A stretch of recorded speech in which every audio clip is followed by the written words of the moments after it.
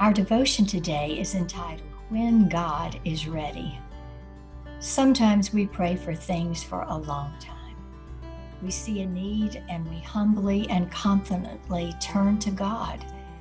We realize that we need Him to turn the tide. Without His involvement, things will not change. We may need Him to transform us or move in the hearts and minds of others. Either way, we know that God has the power to make the difference.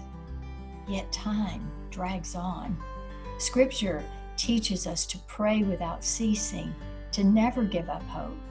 Trust that God cares. He is always working, even when we can't see it. When He is ready, when the time is right, we will see His answer. Be comforted with Psalm 135 and 6. Listen, I wait for the Lord. My whole being waits, and in his word I put my hope. I wait for the Lord more than watchmen wait for the morning, more than watchmen wait for the morning. Would you pray with me?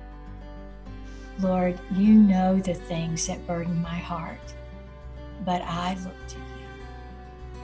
In Jesus' name I pray. Amen. May God bless you today.